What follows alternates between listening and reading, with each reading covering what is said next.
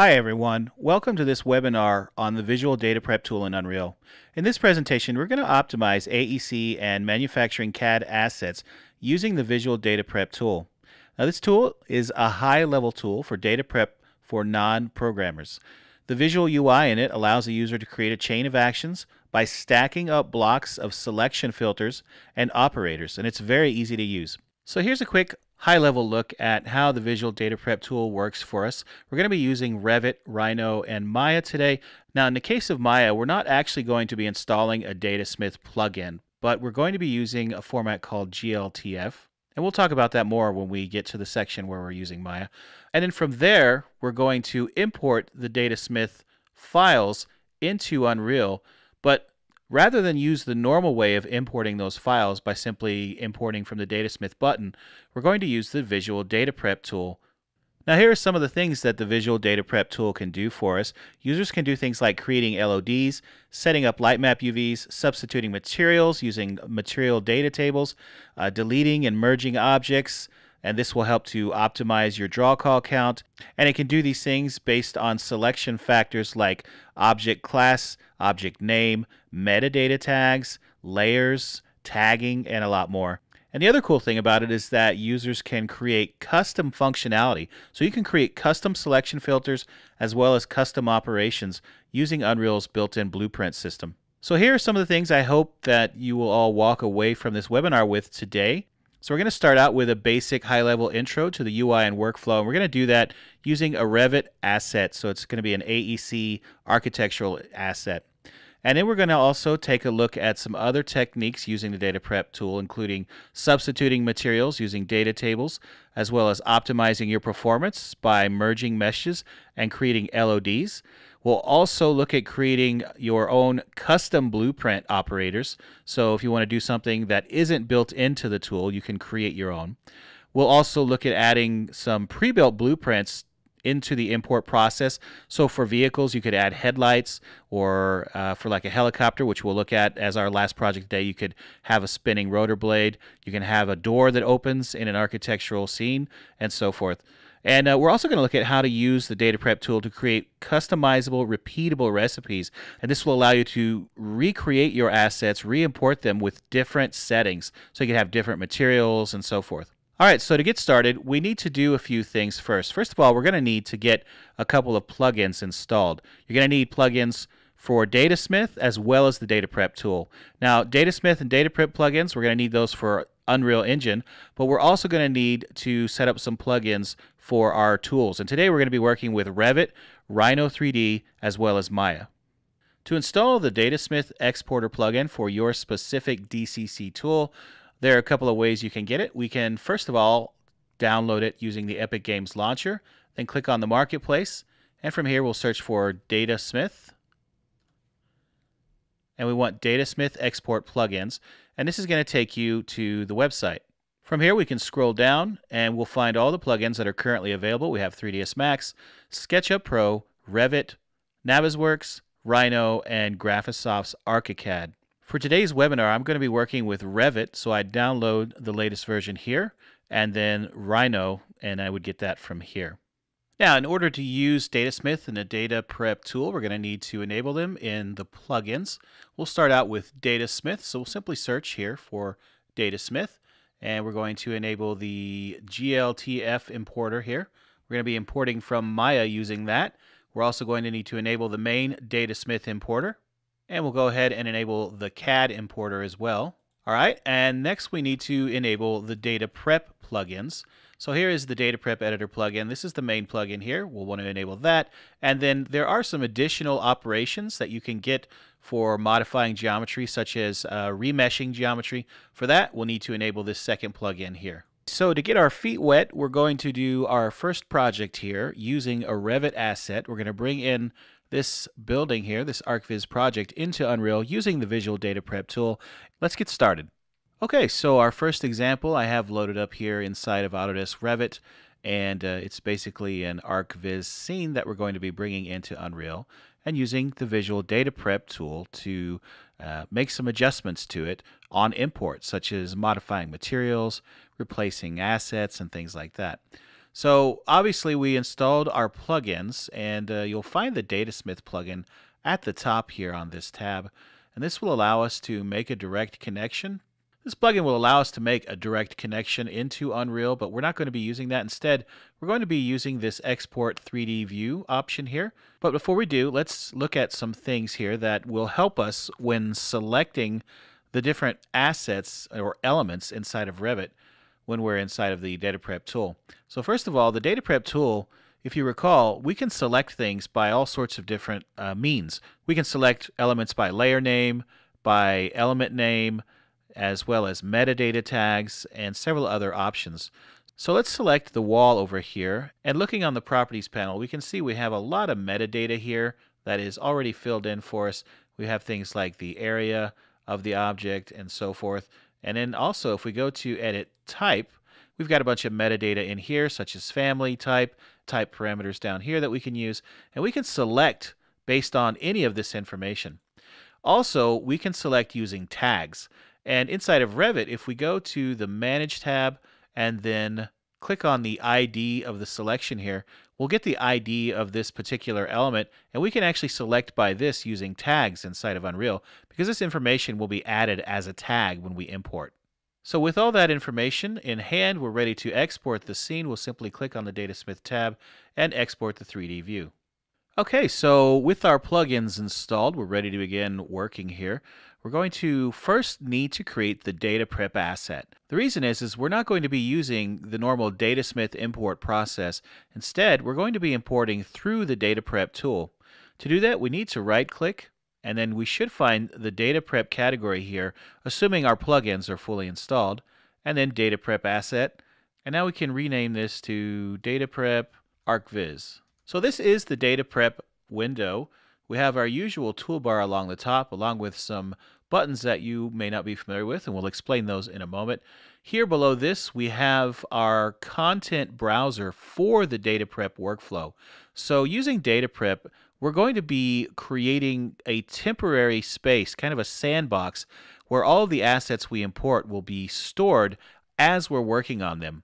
They won't be added to the project until we actually commit them to the project. Next to this, of course, we have our 3D viewport. To the right of that, we have our outliner, which will obviously list all of the objects in the scene when we import. Next to that, we have our inputs rollout and our output rollout, as well as a parameterization rollout. We'll explain what that is a little bit later. Now before we go any further, let's go ahead and import the Revit scene into the data prep workflow. For that, we need to click this Add New Producer button here, and we'll choose Datasmith File Importer. And then, of course, we'll locate the exported Datasmith file from Revit. Now under Output, we need to specify where we want to store this in our content browser, as well as the name of the level that the content will be saved to. The way the Data Prep tool works is that it's going to export the final asset into its own custom level, which you can then stream into any other level. Now that we've selected our Datasmith project, we need to go ahead and begin the import process by hitting the Import button. Okay, so now you can see these three areas have been populated. On the left here, this is what our content browser is going to look like when we commit everything to the project. In the middle, of course, we have our 3D scene. It brought in the cameras, the trees, the geometry, and if there were any lights in here, we could have brought lights in as well. And then, of course, on the right, we have our world outliner. This is showing the current state of the imported assets. You can see also that the execute and commit buttons are no longer grayed out. The execute button will be used when we're ready to begin running the different operations that we're going to be adding. And then the commit button is the final button we press. Once we're happy with everything, this will commit all of the changes to the actual project. So looking below, the next tab we have here, this is where we're going to find our selection filters as well as our operators. At the top we have the selection filters. And you can see we have a lot of options here. We can filter by class, so we could specify this object is a class of whatever. We can also filter by bounding volume for large and small objects, triangle count, vertex count. Actor label is going to be what you see here in the world outliner.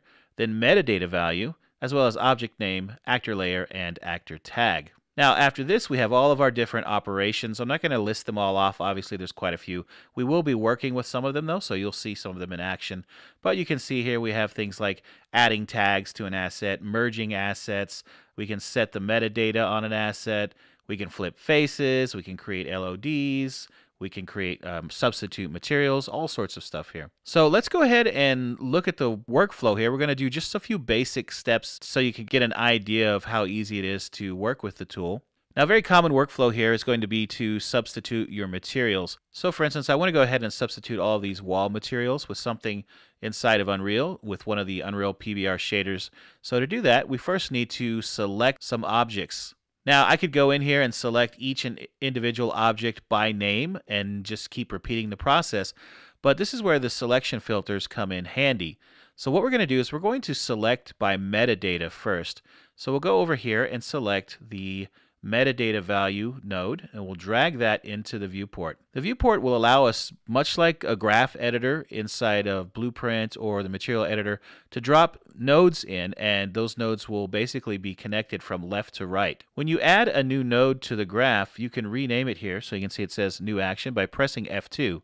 So for this first action, we're going to just call this replace wall material. Now we can see within our replace wall material, we have the node that we dragged in, filter by metadata. Now the key that we're going to be filtering for is called element family. And this is the metadata key taken from Revit. From here, we're going to specify wall. So what this is meaning is that anything that contains the word wall in its element family metadata will be selected. So not only one object, but any object with this metadata. Now, if you want to see the metadata in Unreal, it's actually quite easy. So I have a wall selected here right now. And on the details panel, I can scroll down to the very bottom where you'll find asset user data. Opening this up will allow us to drill down until we find the Datasmith user data. And then we can open that up further. And then we're going to find all the different metadata tags here. So for instance, we're looking for element family. So if we scroll down, and there we go, element family and this is basic wall. This means that this object will be selected, as well as any other object that has the word wall in it. So from here we're going to substitute the material used by any of these objects that we have selected. Now I can scroll down here and you should find substitute material under on object or you can simply search for the word material. And we'll drag substitute material into our replace wall material block.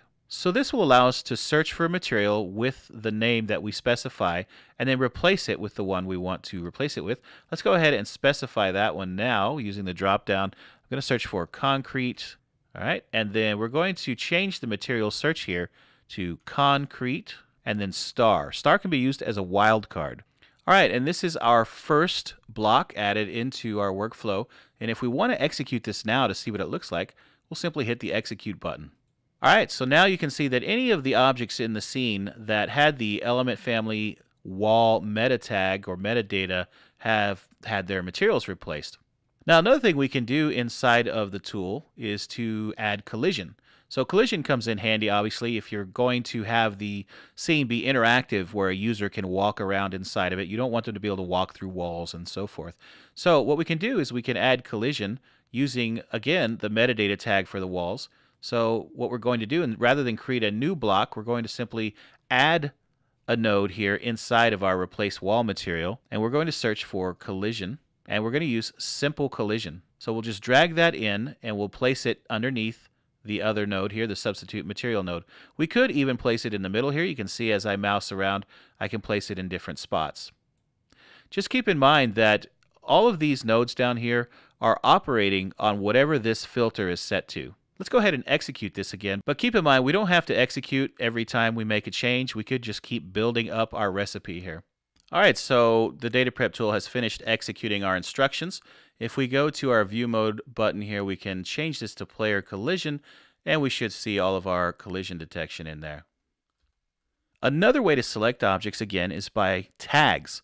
So let's go ahead and drag a new selection filter here we're going to be selecting actor tags. We'll drag that over to the right this time, and you can see that the circle lights up yellow, letting you know you're on a new step. So we're going to be filtering by a specific tag that came over from Revit. And that's the tag that is currently set on the floor. So if we select the floor, and then on the details panel, we can go up to the tags section. We should find the tags that were added there from Revit, and the tag we're going to use is the ID of that object. So I'm just going to right click and copy that and then paste that into our filter by tag. So this is letting us know that we only want to select the object with this ID. And now we're going to again substitute the material, but rather than dragging it over from our box over here, we can actually copy and paste by simply holding down control and then dragging it to a new step. This time we're going to change back to an asterisk for our wildcard and then we'll change our material dropdown to mi underscore decking. All right, so that's just another way of selecting objects. But you can see here we're basically only adding one material at a time. There's a much better way, and that is to use a material lookup table. But before we can use the material lookup table, we need to create one, so let's do that. To create a material lookup table in the content browser, we'll need to go to Miscellaneous and choose Data Table.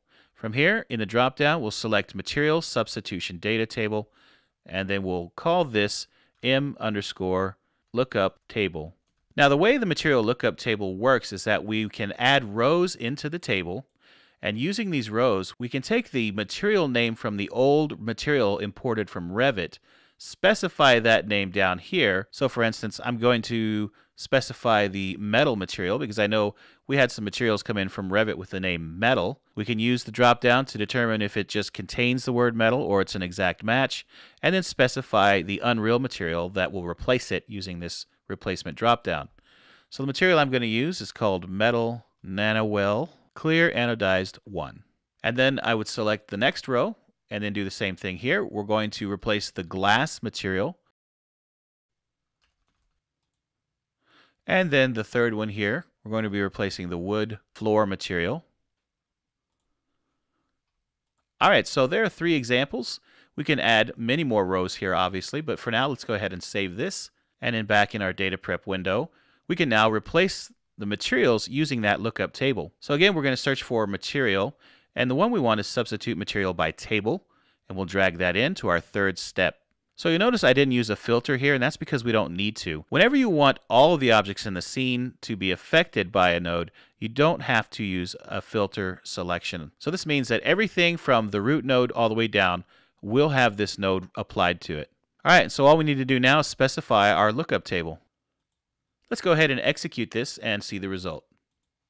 All right, so now that we've executed the operations, we can see that uh, all these materials have been replaced. The glass material as well as the metal material here around the glass and the wood floor. All that was replaced using our lookup table. So you can see the power of using a lookup table. Obviously, you can replace a lot of materials in one go, and you don't have to go through and do each one manually like this. Now you may notice that in our Revit scene here, we have some fairly ugly trees.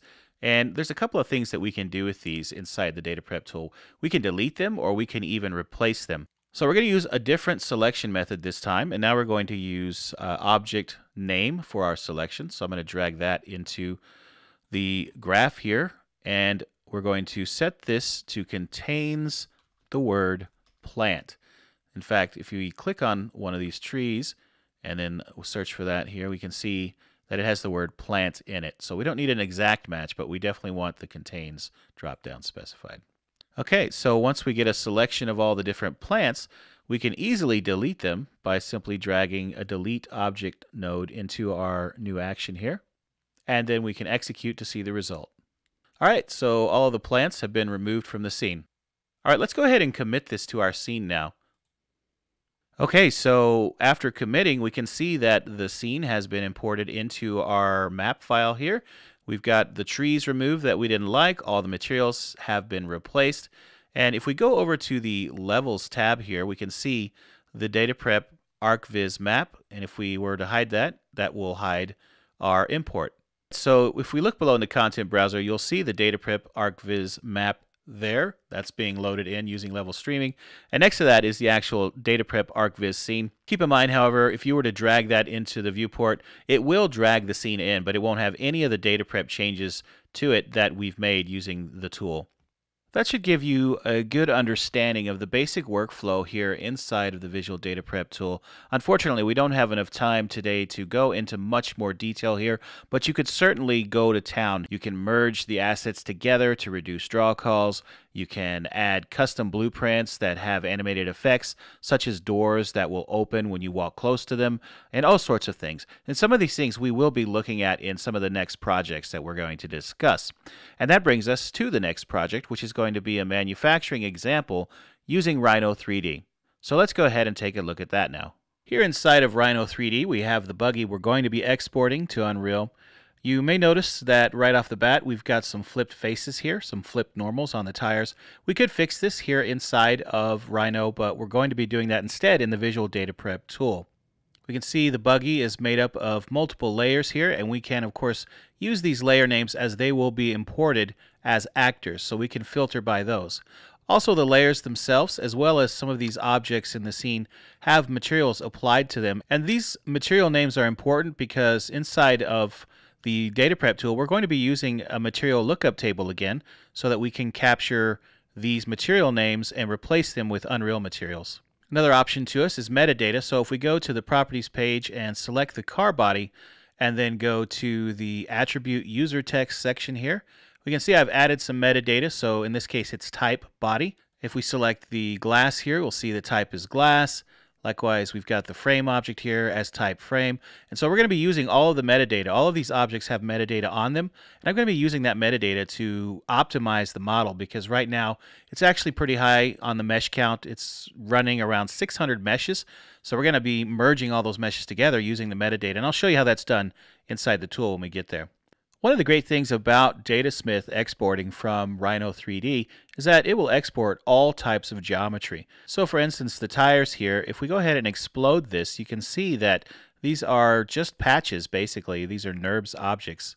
Well, that's all we really need to look at here inside of Rhino. We've got the Datasmith plugin installed, so we'll go ahead and select all of the mesh objects in the scene and go to File, Export Selected, and we want to make sure that we have the Unreal Datasmith file format selected. And then we'll do an export. And we'll see you in Unreal. Here inside of Unreal, we're ready to import using the Visual Data Prep tool. So we're going to go into our content browser and we'll create a new data prep asset. As before, the first thing we'll need to do is add our producer. So we'll click on the input button here and then browse to our Datasmith file. After this, we need to begin the import process.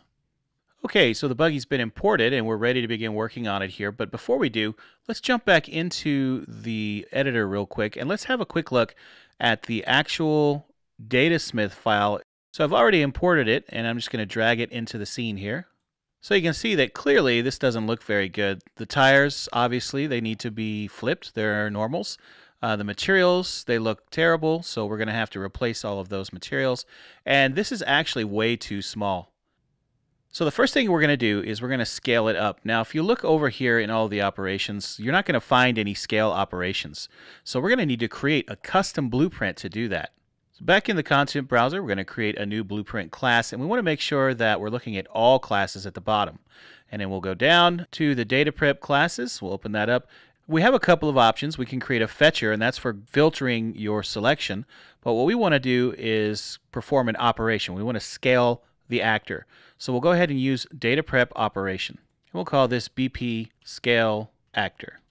All right, so we have our scale actor blueprint up. We've got our event on execution, which begins at the beginning of the operation when this operation gets run.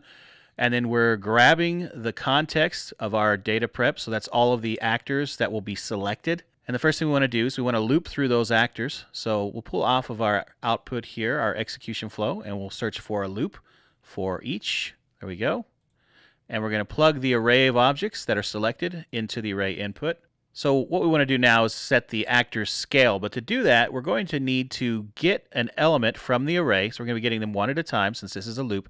And we want to, we want to cast this as an actor. So we'll do cast to actor.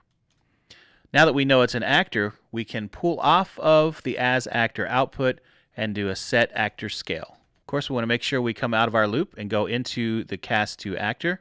And then we need to specify the scale amount. And for this, we're going to use a variable. So we'll add a new variable and make sure that it is public. And this way, we'll be able to see it in the data prep tool. And let's call this variable scale factor. And we're going to change the type to a floating point value. Now we can drag that in and then plug that into our scale 3D input there. And Unreal is smart enough to automatically convert that for us. And that's all we have to do. We can save and compile. Now if we jump back over into our data prep, we should find it. Scrolling down under user defined, there's our BP scale actor.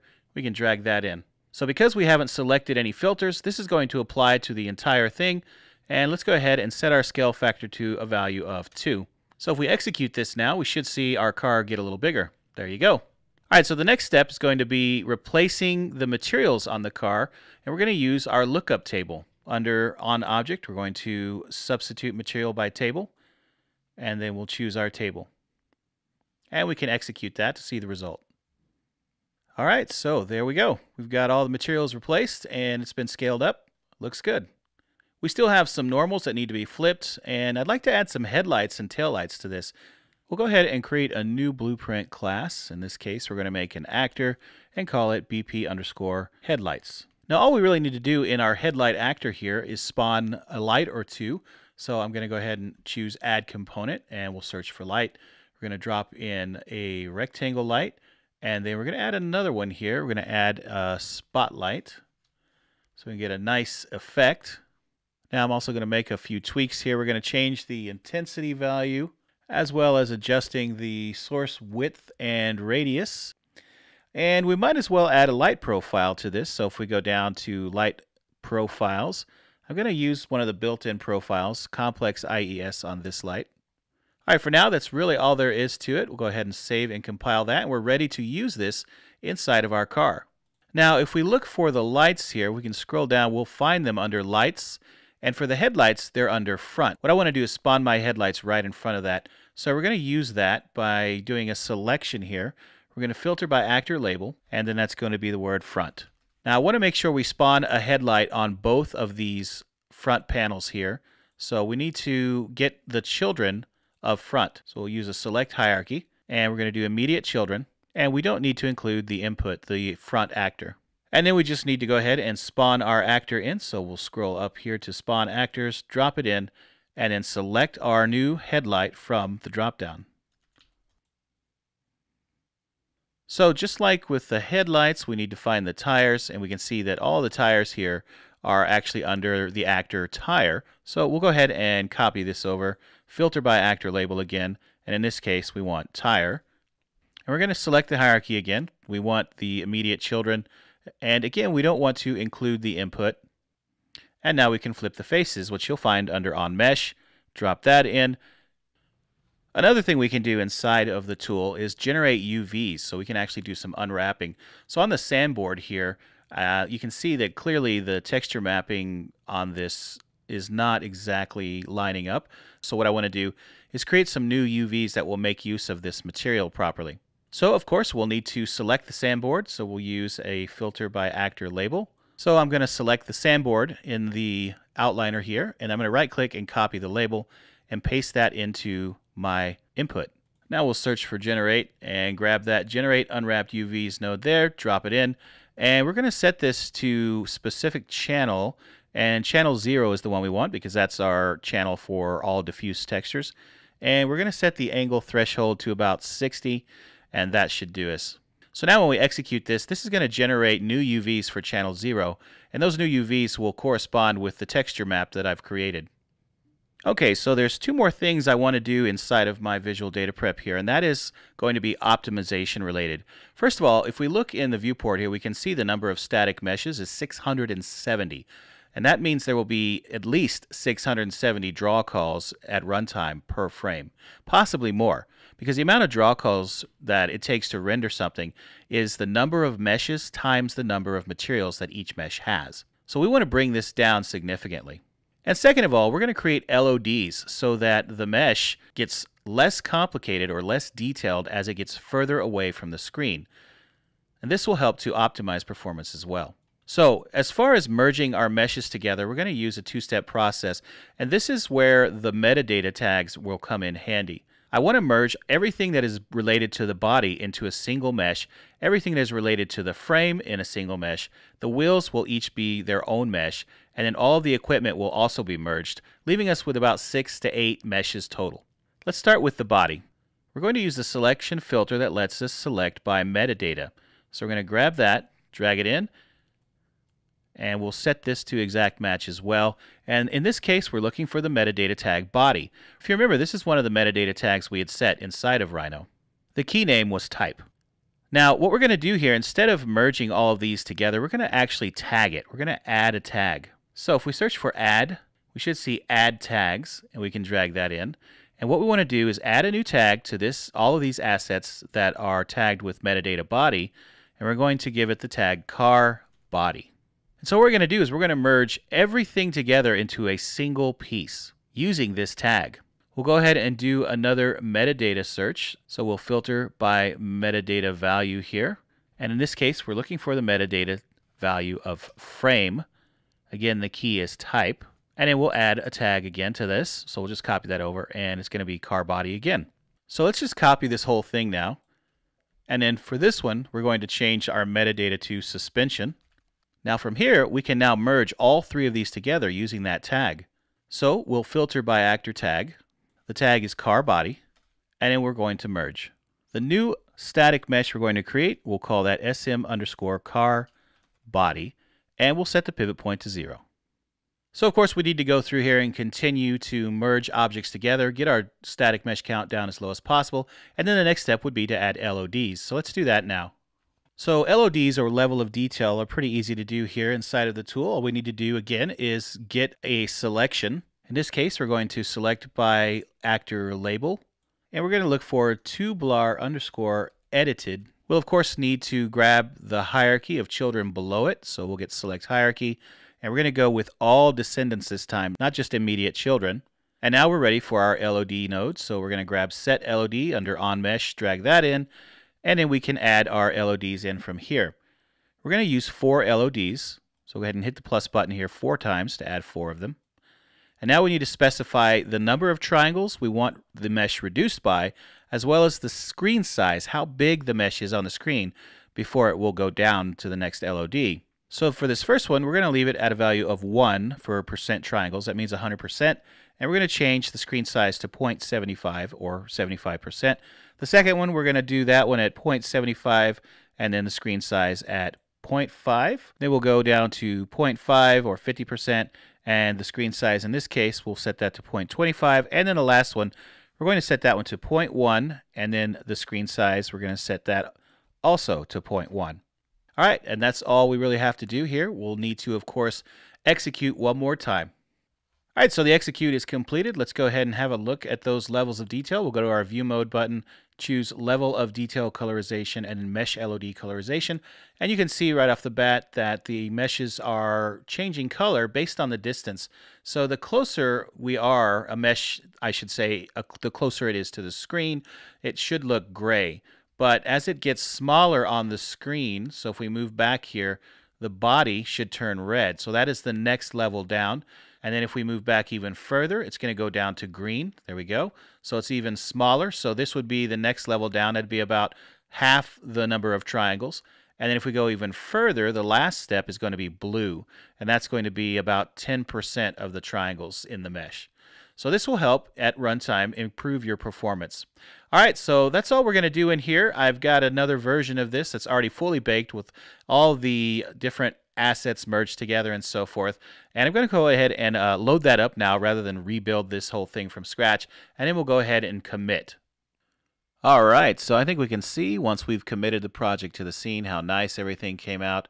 And the materials look great. And uh, the headlights and the tail lights that we added all looking fantastic. Not to mention, this is only seven meshes. So we've got the body, then we've got the four tires, the sandboard, and uh, that's about it. All right, so there's one last trick that we can use with the data prep tool, and that is to create recipes that can be reused to import a similar object, but to make minor tweaks to it, such as material changes and so forth. Now, the way we do this is by creating an instance of our data prep asset. So when we right click on that, we can create an instance. Now, in order to populate our instance with options, we need to specify those parameters here inside of our data prep master. So first of all, let's say that we'd like to use a different material lookup table for a different version of the car. To do that, we simply right click on this material data input and click on link to parameters. and this will give us the option to specify a new parameter. Now on the top right here, if we look under parameterization, we can see our new material data lookup table input field here.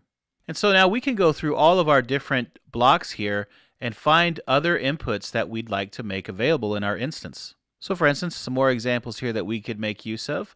When we're generating LODs, we might want to go ahead and specify a different body file that we're using. So let's go ahead and link that to a parameter. So we'll call this one root actor name. And we might as well also add our scale factor as a parameter. Now in our instance, we can see that we have all these parameters available to us. First of all, we can choose a different input file. So let's go ahead and do that now. We'll use tubular edited 002, and we'll make sure to give it a different map name. Now we need to specify the different parameters we made available. So we'll choose a different lookup table this time for the materials. We need to specify the new root name, so that was tubular edited 002. And let's make this one slightly larger. From here to run the process, all we have to do is right click on our instance and choose execute.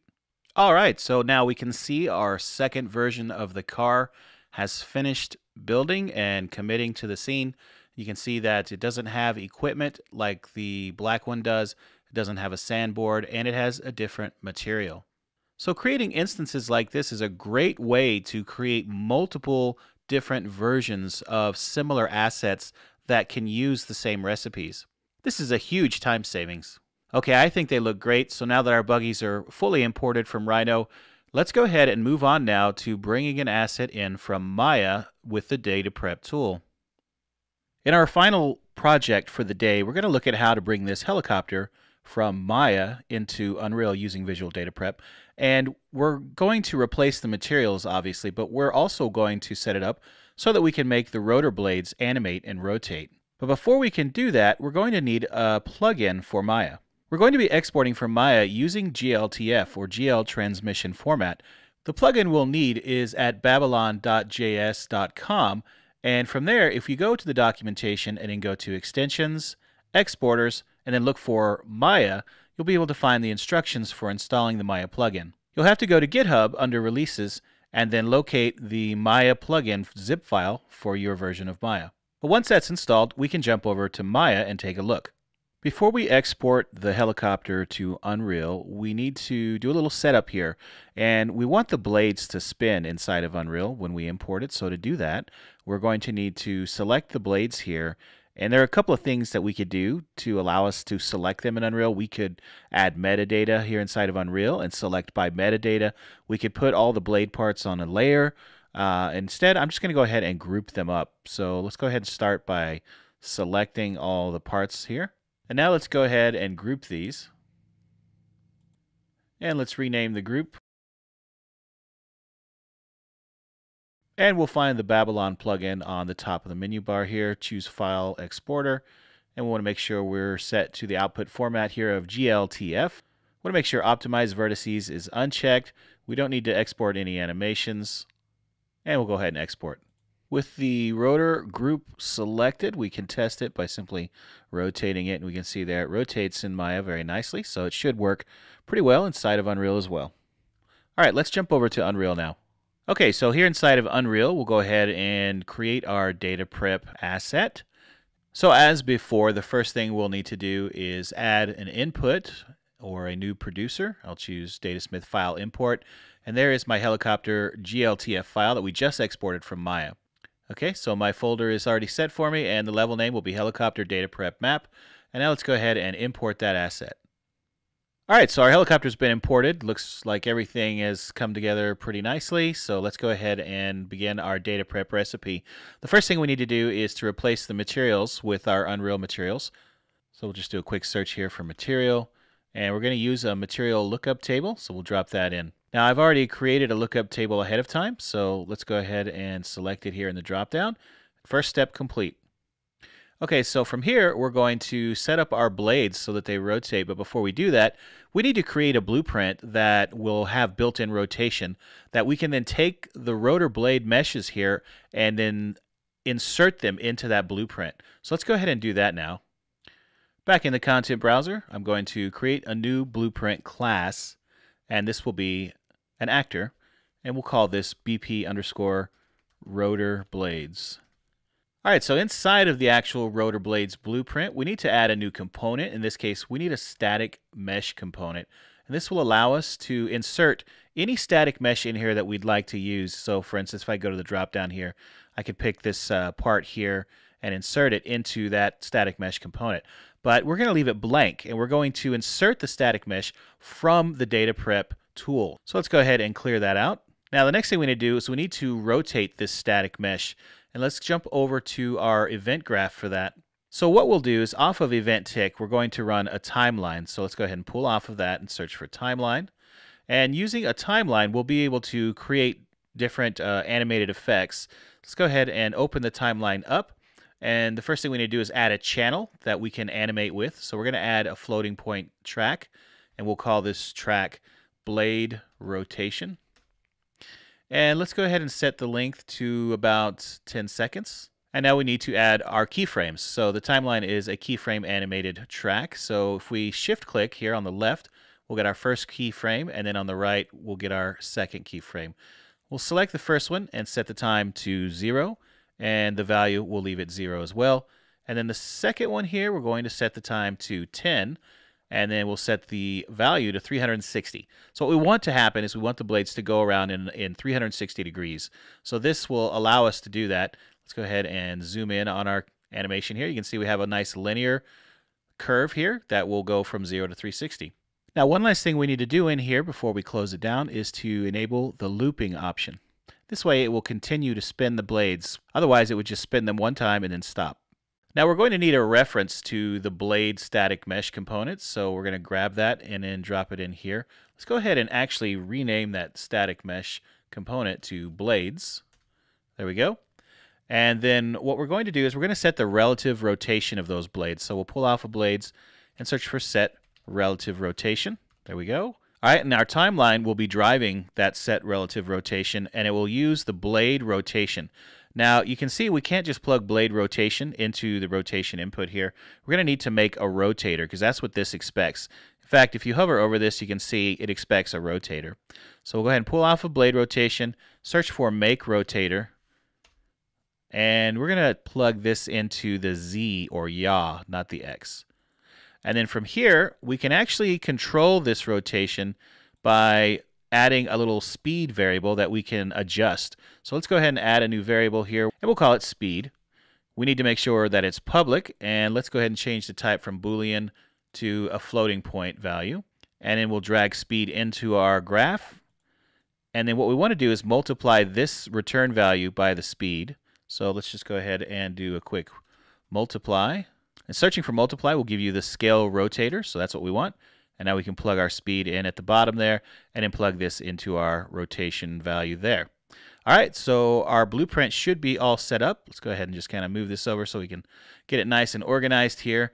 Save and compile, and we're ready to go back to our data prep tool. We're going to need to grab all of the mesh pieces from the rotator blades group that we created inside of Maya, and then we'll merge them together. So let's go ahead and do a selection here, and we'll select by actor label. So we can drag that over here. We're going to do an exact match and search for rotor blades. And that will, of course, get us the top level group actor, but what we want is everything below it, all of the children. So we'll need to scroll down and grab the select hierarchy node, drag that in, and we're going to go with all descendants and we'll go ahead and include the input, which is the rotor blades actor. From here, now, now that we have them all selected, we need to merge them. So just scroll up a little bit, and under on actor, we have our merge. We'll drag that in. And then the new actor label, let's call that SM underscore rotor blades. And we'll set the pivot point at zero, so it's nicely centered. Okay, so the second step here will be to spawn in our newly created blueprint and then set that mesh component to our new SM rotor blades. So we're going to need to grab the SM rotor blades. So we'll do another selection operation here by actor label. And then rather than type it, I'll go ahead and just copy it so that we make sure we type it correctly and paste it in there. And then now that we have that new static mesh that we've created that has all the others merged into it, we can go ahead and spawn our blueprint. So we'll scroll down a little here under on actor again, spawn actor at location, and we're going to select our blueprint here. So I'll do a quick search for BP underscore blade rotor, and there we go, rotor blades.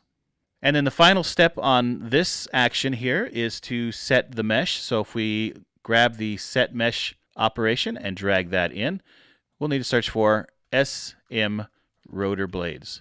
Now, here's a little caveat to this. When you're importing this asset for the first time and running your data prep recipe, SM rotor blades won't exist yet, so you will not find it when you try to search for it. That's because this operation hasn't occurred yet.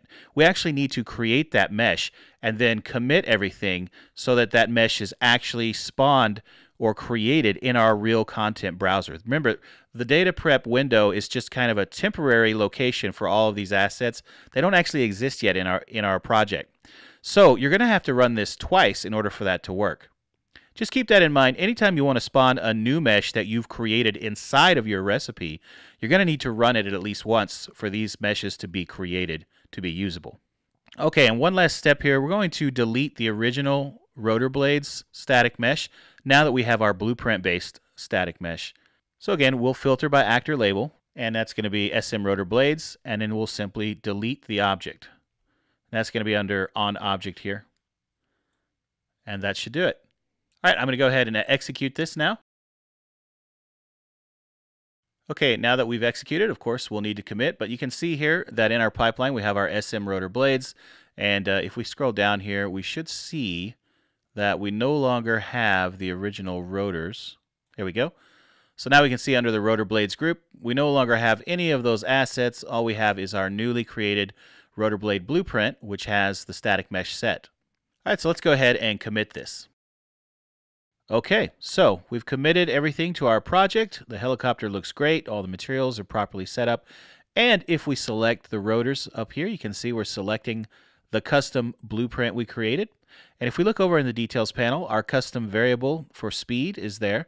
And let's go ahead and set that to a value of 5, and we'll give it a playtest. All right, so we can see our blades are spinning here at a nice slow rate. We've got some nice God rays coming through there as well. Looks great. But remember, we can also increase or decrease the speed. So if we go back to the details panel here, we can go ahead and bump that up, make it even faster, and we'll give it a shot here again. And there we go. So just like that. And if you wanted to, you could easily come in here and create other blueprints that will allow you to increase or de decrease the speed during playtime. So for instance, you could have it where the user walks up to the helicopter and then clicks on something and then starts the blades up uh, or even gets into the cockpit if you really wanted to go that far. Now, keep in mind, obviously, the helicopter, we didn't do any other optimization in our data prep import process, so we didn't combine any of the meshes here. I think it's about 400 meshes or so. So we'd probably want to go back and do some optimization here on the helicopter as well. Unfortunately, that's all the time we have for the day, so we're going to go ahead and have to leave it at that, but I hope you enjoyed this webinar on visual data prep. As you can see, it's a very powerful tool very easy to bring in your assets, whether you're a CAD user or 3ds Max or Maya user, bring those assets in and visually set it up so that you're break, bringing your assets in so they're more optimized, so they're using the uh, better materials inside of Unreal for, for rendering in real time. Uh, as well as doing all kinds of cool stuff like adding animated rotor blades or headlights or whatever the case may be. So, again, I want to thank everyone for attending. I hope you enjoyed and learned from this webinar, and we'll go ahead and open up the floor now to questions and answers. So, thanks again.